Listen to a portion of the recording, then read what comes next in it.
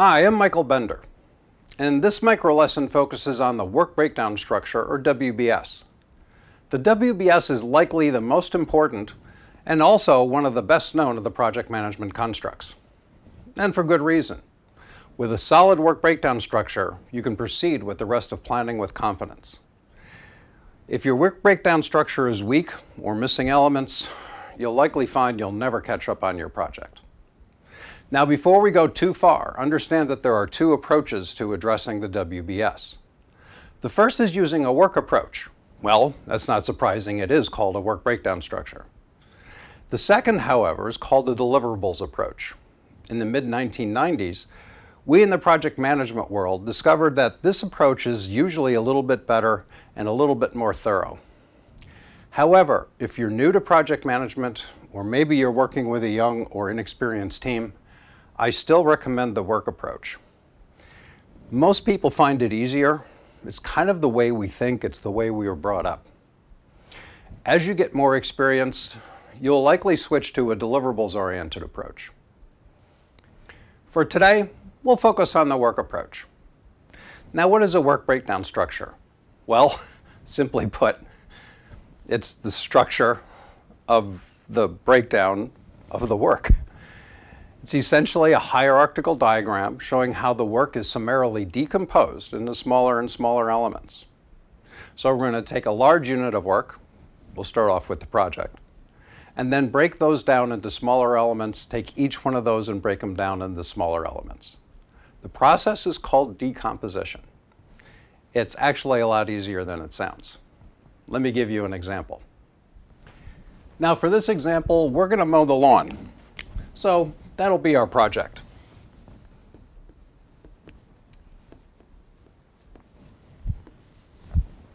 Well, I simply need to break this down into smaller steps.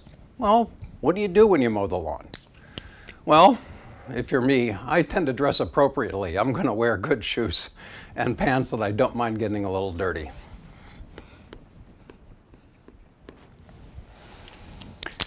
Then I'll go into the garage and open the garage door.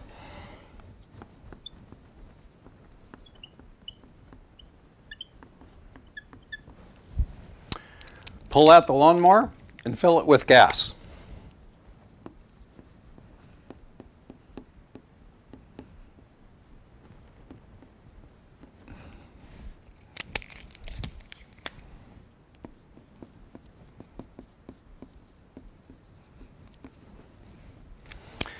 And when I'm ready, I'll mow the front lawn.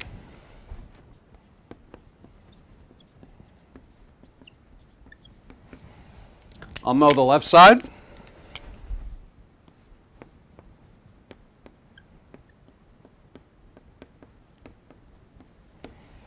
I'll mow the back.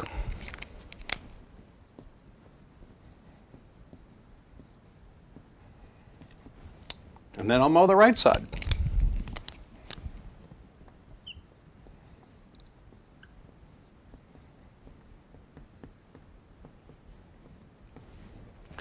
Put the lawnmower away.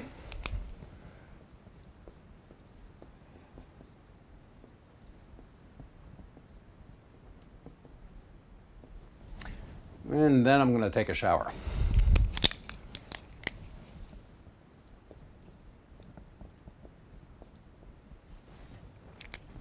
We now have a work breakdown structure for mowing the lawn. Now notice we've taken a work approach on this, you'll notice that all of these start off with verbs. When I'm doing a work approach, I like to see strong action verbs followed by nouns. Well, the noun doesn't have to be that important. Um, dress will do fine here. Open garage door, pull out mower, fill with gas, mow front, mow left side, mow back, mow right side, mow, put mower away, and take a shower. Again, using a work approach, most people find it easier coming out of the gate, and it's what I recommend for new project managers or for new teams.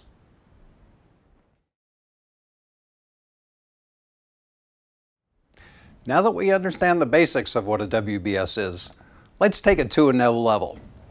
As you can see, I've cleaned off my whiteboard, and we're going to be using most of it for this particular demonstration. But before we go there, there's a couple basic things we should go over. First is, why do we do work breakdown structures? What is the goal of the WBS? Well, it's actually quite simple.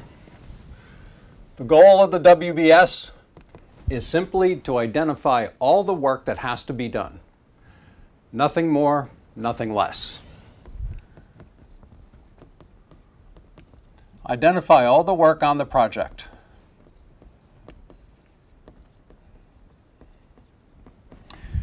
I don't care about sequence. I don't care about cost. I don't care about resources. I don't care about any of those other issues. The only thing I need out of a WBS is simply to identify all the work that has to be done. Now, there's a couple rules with breakdown structures. For those of you familiar with project management, you'll know that there are several kinds of breakdown structures. We already know about the work breakdown structure, and I introduced you to the deliverables breakdown structure. There's also a goals breakdown structure, resource breakdown structure, and a few others. Now, all breakdown structures follow the same rules, and there are only two of them, and they're quite simple. In each breakdown structure, we're going to take a large element and decompose it down into smaller elements. Our first rule is the decomposition must be complete, nothing missing.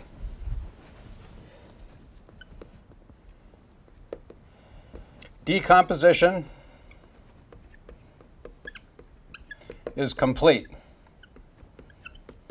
Nothing missing.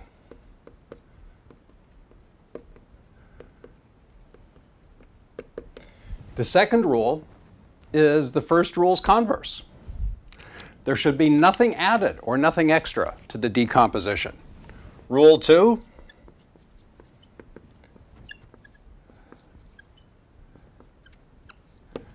nothing extra. When I'm running a project, that's all I do all day. Nothing missing, nothing extra. Nothing missing, nothing extra. I do it with work, I do it with resources, I do it with requirements, I do it with money. Nothing missing, nothing extra, nothing missing, nothing extra. That's the key to keeping your project within its scope. So, let's see how this works. Now we're going to stick with our work focus. So again, we're going to use a work-oriented WBS. But instead of doing an outline format like I did prior, I'm going to do a hierarchical format. And I actually prefer the hierarchical format for a few reasons, and we'll get into that a bit later. And for this project, we're going to take on something maybe a little bigger. It may not sound a little bigger, but after we take a look at it, I think you'll agree. Something we all do. We're going to go grocery shopping.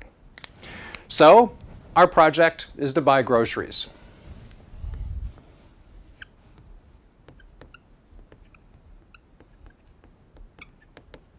That's our project. Now, if you're familiar with project management, you may be familiar with phases. When we get a little bit more sophisticated in project management, we like to use phases. Phases are a collection of activities that really focus in one area or one kind of subject. For this particular one, we're going to have, I don't know, let's see, for maybe, before I go grocery shopping, First thing I'm going to have to do is prepare. So we're going to have a preparation phase.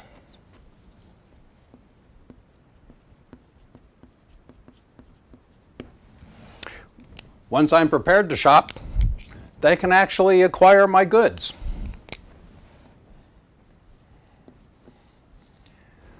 We're going to call that procurement.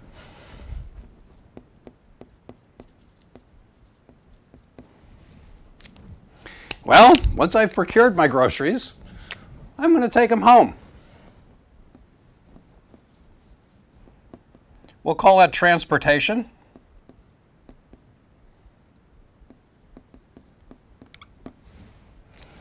Then once I get them home, I need to put them away. Uh, but this is a project management seminar, so we need to kick this up a little bit. We're going to restock inventory.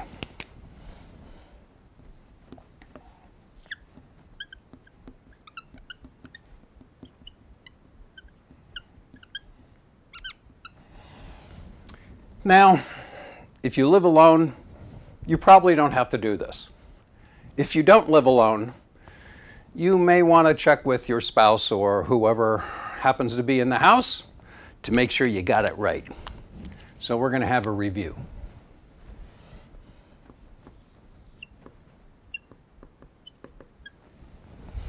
So those will be my phases. I can now start identifying all the work that has to be done in each phase. Well, if I want to be prepared to shop, I'm going to need a list. I'm going to need money. I'm going to need a store. I'm going to need to be at the store. So let's go ahead and see what we need to do.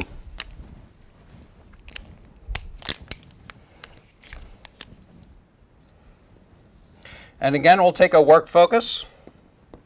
We're going to create a list. We're going to get money. We're going to uh, prepare our car. We're going to select a store. We're going to get our shopping bags.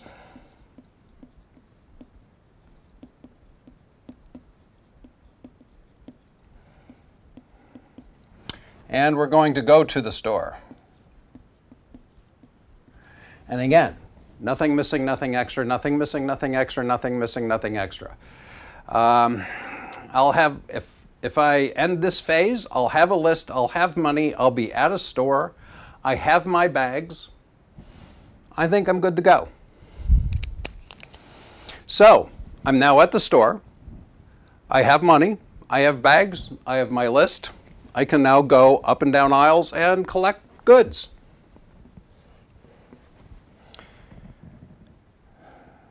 Walk store. Select items.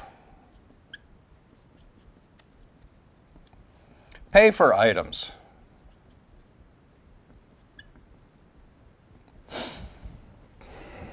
I can't think of anything else at the moment.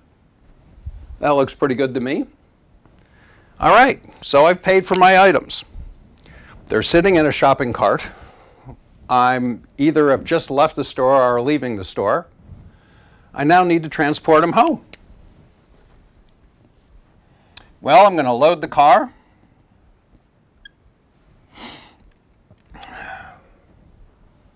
Um, depending on who's doing this, there may be one little thing we want to do here. Uh, typically, guys open chip bag. Guys, ladies do this too, but usually it's chocolate or something else like that. Drive home. Consume chips.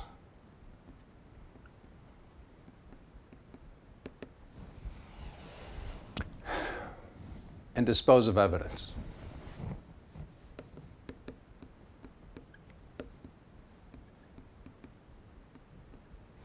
Ladies, if you happen to send your beloved one out shopping, uh, check the receipt, see how many chip bags were purchased, check the inventory, see how many are there.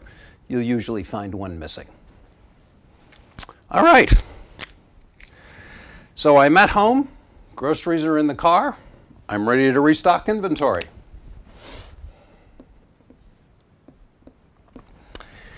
I'm going to restock my freezer.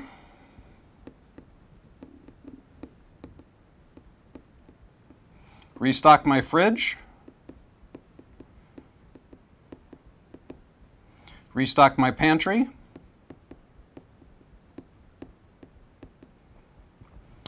and replace shopping bags.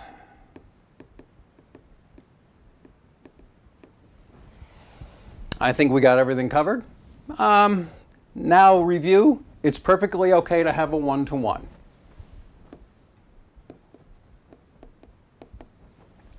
It's perfectly okay to do that. I do that all the time just to keep each layer complete.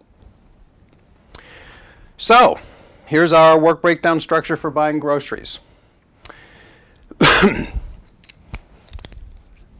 like all work breakdown structures, I can continue to decompose each one of these.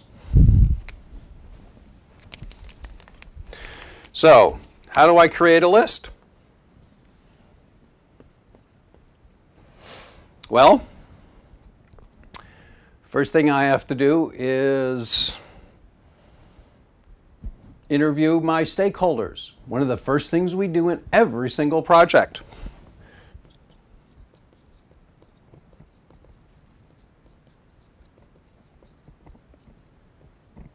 What does this mean?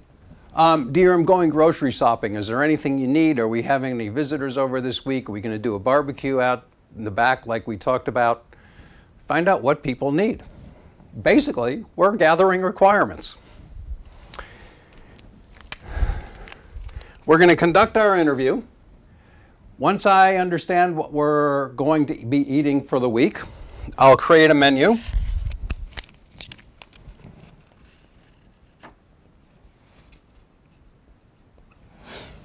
And from this, I can create a list of ingredients that we'll need, except this is a project management lesson, so we're going to use more formal terminology. We're going to call this a bill of materials.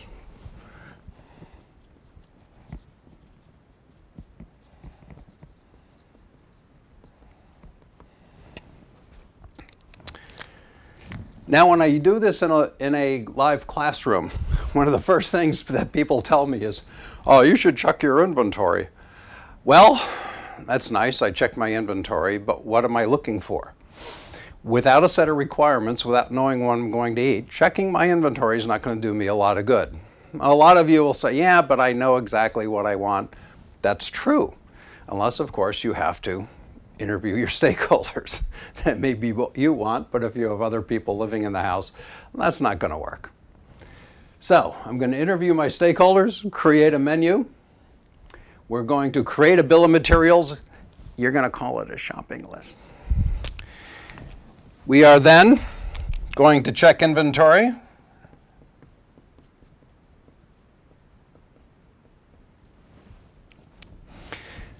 The bill of materials tells me what I need. My inventory tells me what I have. I'm then going to determine what I need.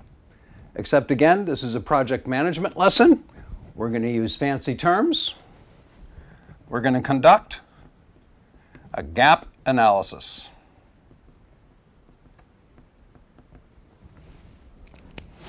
And that should give me my shopping list. Well, let's just take one or two more. How about getting money? Well, I have to make an assumption here. I have to assume we actually have money to get. so anytime I'm making an assumption in a project, it goes on the assumptions list.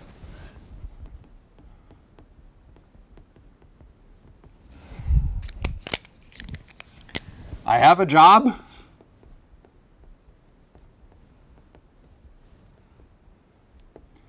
I have money. Well, it may not be in the right place. I may need to balance a checkbook. I may need to select exactly how I'm going to pay for the groceries. Am I going to use an ATM card? Am I going to use a check? Am I going to use cash? So I may have to balance checkbook.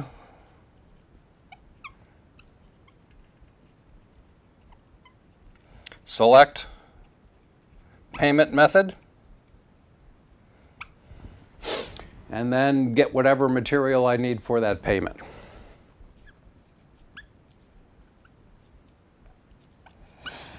You know, and now that I'm thinking about it, you know, I forgot something in here coupons. I forgot to think about coupons. Well, here's the nice thing I'm just planning. This is just a whiteboard. I haven't gone to the store, I haven't spent any money, I haven't made any major commitments yet. Making changes now is easy. I just throw another thing on the list. So I can put that under get money, but let's drop it down here. Clip coupons. Well, clipping now usually means going online, but occasionally we still get the flyers and we're still going to be cutting out coupons. All right, repairing car, I'm going to need keys. I may need to clean out the trunk. Selecting the store, depending on what you like, you may like some stores for some items, other stores for other items. get your shopping bags, drive to store. And I can continue going through this as much as I need to. Now, this is a hierarchical form of the work breakdown structure, and I prefer it to the outline. And here's why. If I show a typical project in outline format, like we did with mowing the lawn, to a senior manager, it just looks like a whole bunch of words that they just don't get. However, if I do it in a hierarchical form, they understand all the work, they can see how things map up. It's a much clearer form of communication.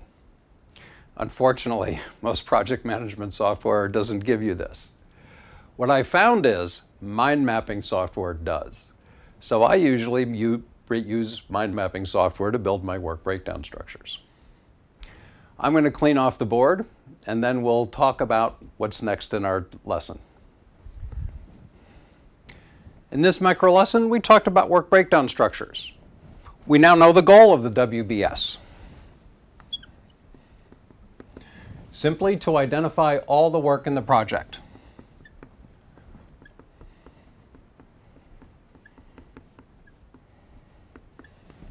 We don't care about resources, we don't care about sequence, we don't care about cost. The only thing we need to do is identify all the work. We know that there are two rules to all breakdown structures. When we take a large item and decompose it down into its smaller items, the decomposition must be complete, nothing missing.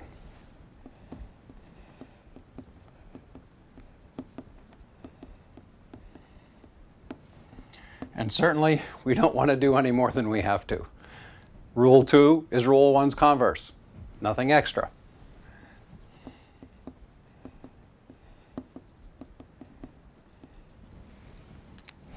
We know that there are two approaches to work breakdown structures.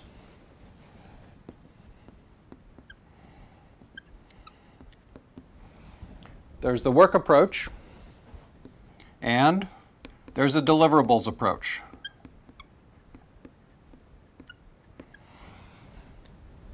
If you're relatively new to projects, or your team is relatively new to projects, I recommend the work approach. We just tend to think better that way. As you get a little bit more experienced, a lot of us like to switch to a deliverables approach. There are certain advantages, but it's a little harder to get right coming out of the gate. We also talked about two ways of displaying the WBS.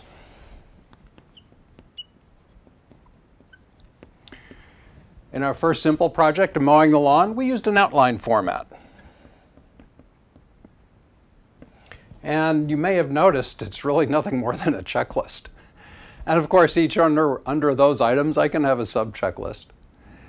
But if you're doing, if you have a to-do list or you have a punch list if you're doing construction, that's really nothing more than a, a simple WBS. The other way of displaying a WBS is with hierarchical.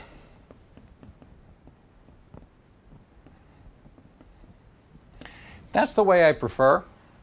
It just communicates better. If a senior manager, your sponsor, or client is looking at an outline format of a decent sized project, it's just all going to look like a bunch of words. However, in hierarchical format, it's much easier for them to understand what's happening in your project and all the work that's required. And we did a brief introduction of project phases. I hope you found this lesson useful. We look forward to seeing you in another micro lesson, and may all your projects be successful.